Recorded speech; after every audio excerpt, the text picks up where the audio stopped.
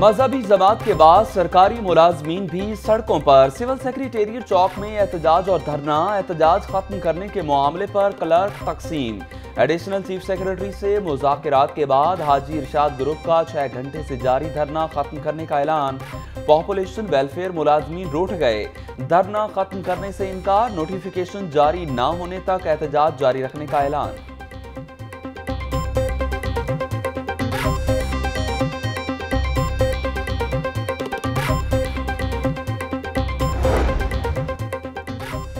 App کا ملازمین کا دھرنا ٹرافک کا دھڑن تختہ۔ احتجاج کے بعد سیکریٹریٹ سے ملحقہ سڑکوں پر traffic jam Mall Road, Kachehri Road, Circular Road, Lower Mall, Data Darbar کے علاقوں میں ٹرافک کا شدید دباؤ۔ منٹوں کا سفر گھنٹوں میں طے ہونے پر مسافر اذیت کا شکار۔ پی ایم ایس افسران کے تحفظات کا معاملہ، سول سروس ریفارمز کے متعلق فیڈریشن، فیڈرل ٹاسک فورس میں پی ایم ایس افسران کو شامل کرنے کا فیصلہ۔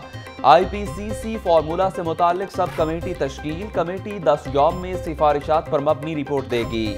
پی ایم ایس افسران کے مطابق اجلاس میں ایڈیشنل چیف سیکرٹری کی سربراہی میں وقت نے مطالبات تسلیم کیے۔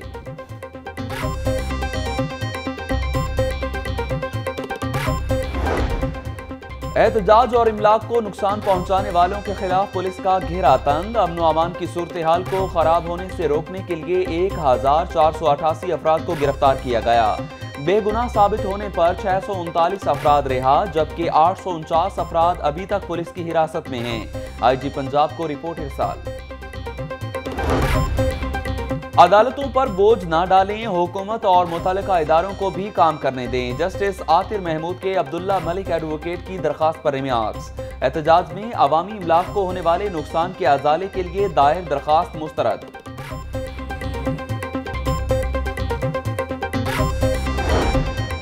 شہباز شریف کے داماد علی عمران کی مشکلات میں اضافہ فرنٹ مین اکرام نوید نے انچاس کروڑ بانوے لاکھ کی پلی بارگین کر لی۔ پہلی قسط کی ادائیگی پر احتساب عدالت کا پنجاب انرجی ڈیولپمنٹ کارپوریشن میں گرفتار ملزم اکرام نوید کو رہا کرنے کا حکم۔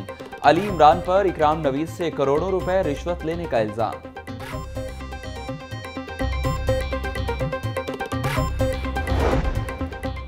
داماد مشکل میں تو شہباز شریف بھی مشکل میں۔ Public funds Ramzan sugar mills کو دینے کا الزام مجسٹریٹ نے سابق وزیر اعلیٰ کو آٹھ نومبر کو طلب کر لیا۔ گواہان کے بیانات شہباز شریف کے سامنے ریکارڈ ہوں گے۔ نیب میں سوالات کے لیے بولاتے ہیں، چائے بھی پلاتے ہیں۔ پلی بارگین میں نیب کا کوئی شیئر نہیں۔ تمام پیسے عوام کو دیتے ہیں۔ عوام جانچ پڑتال کے بغیر سرمایہ کاری کرتے ہیں اور پھر پچھتاتے ہیں۔ عوام اپنے پیسوں کی خود حفاظت نہیں کریں تو نیب کہاں تک تحفظ کرے گا؟ ستر فیصد ہاؤسنگ اسکیمیں غیر قانونی ہیں، D G NAB Shahzad Saleem کا تقریب سے خطاب۔ ڈبل شاہ اور پاک عرب ہاؤسنگ سوسائٹی کے متاثرین میں چیک تقسیم کیے۔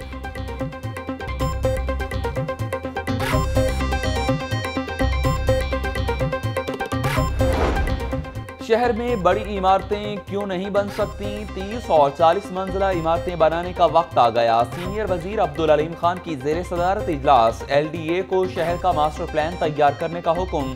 لاہور شہر کو جدید خطوط پر استوار کرنے کے لیے بائی لاس تشکیل دیے جائیں۔ نئے بائی لاس کے لیے دبئی اور دیگر عالمی شہروں سے رہنمائی لیں۔ سینئر صوبائی وزیر کی ہدایات۔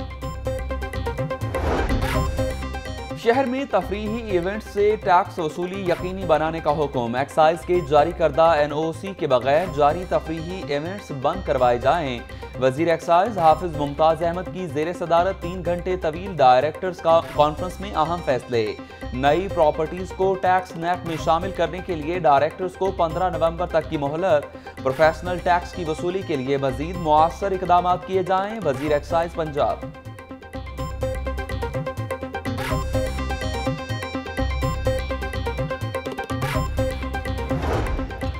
A S Ps کی پوسٹنگ کے حوالے سے نئی پالیسی تیار۔ آئی جی پنجاب امجد جاوید سلیمی نے نئی پالیسی کا اعلان کر دیا۔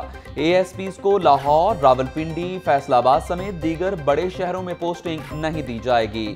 جبکہ پیٹرولنگ پولیس میں ڈیپوٹیشن پر آنے والے افسران کے لیے بھی قوانین تبدیل۔ افسران کی تعلیم، عمر کا تعین اور دورانیہ بھی مقرر۔ سب انسپیکٹر کی عمر پچپن سال اور اے ایس آئی کی عمر پچاس سال سے زائد نہیں ہوگی۔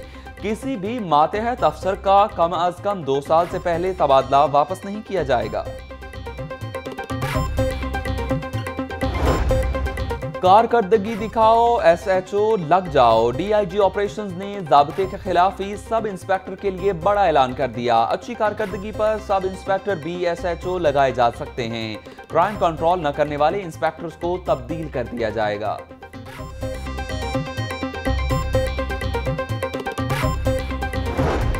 منامہ کے علاقے میں سیوریج کے کام کے دوران تین افراد مین ہال میں گر گئے۔ ایک شخص ہلاک، ریسکیو کی امدادی ٹیموں نے دو افراد کو زخمی حالت میں باہر نکال لیا۔ دونوں زخمیوں کو طبی امداد کے لیے ہسپتال منتقل کر دیا گیا۔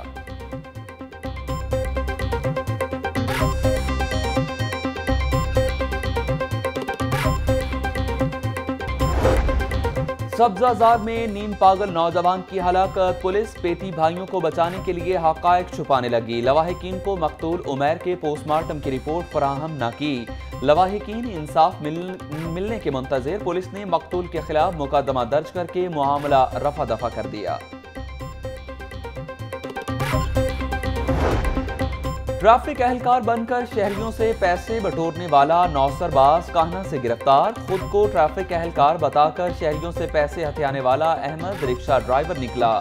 پولیس نے قانونی کارروائی کا آغاز کر دیا۔ شہر میں بچوں کے اغوا کا سلسلہ نہ رک سکا۔ راوی روڈ سے ڈھائی سالہ علی حیدر اغوا پولیس تاحال بچے کو بازیاب نہ کرا سکی۔ بچے کے اغوا کی C C T V footage Lahore News کو موصول، جبکہ تھانہ سندر کی حدود سے دو ماہ قبل لاپتہ ہونے والے چودہ سالہ کاشف جاوید کا بھی سراغ نہ مل سکا۔ پولیس لاپتہ لڑکے کو تلاش کرنے میں ناکام۔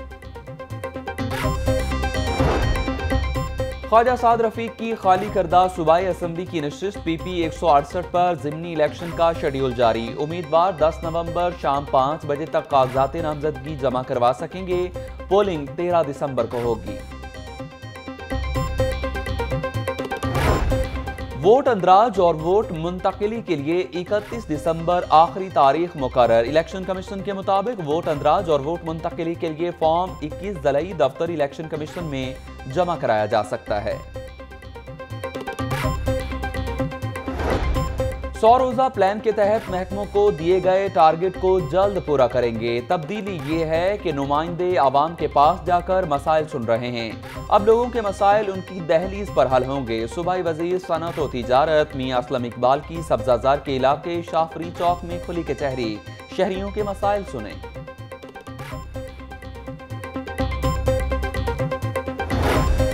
پنجاب کے تعلیمی بورڈز میں اہم تبدیلی، صوبے کے ساتھ کمشنر سے تعلیمی بورڈ کے چیئرمین کا چارج واپس لے لیا گیا۔ مختلف سرکاری کالجز کے پرنسپل حضرات کو چیئرمین کا چارج تفویض۔ فیصل آباد گجرہ راولپنڈی، سرگودا، ساہیوال، بہاولپور تعلیمی بورڈ شامل۔ تعلیم، دہشت گردی، بے روزگاری کو مٹانے کا بہترین ذریعہ ہے۔ گورنر پنجاب چودھری محمد سرور کی یونیک گروپ آف انسٹیٹیوشن کے زیر اہتمام ڈیم فنڈ ریزنگ سے متعلق تقریب میں بطور مہمان خصوصی شرکت۔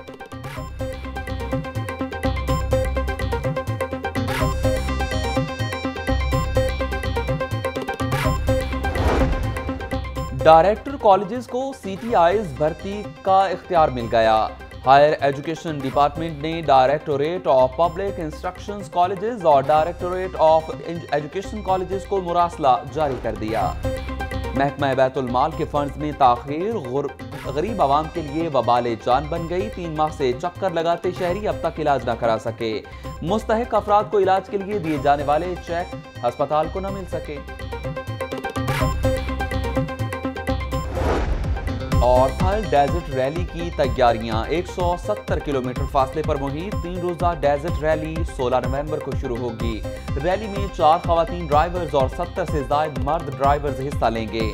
صوبائی وزیر سیاحت یاسر ہمایوں کی پریس کانفرنس کہتے ہیں حکومت ٹورزم کو مضبوط کر رہی ہے۔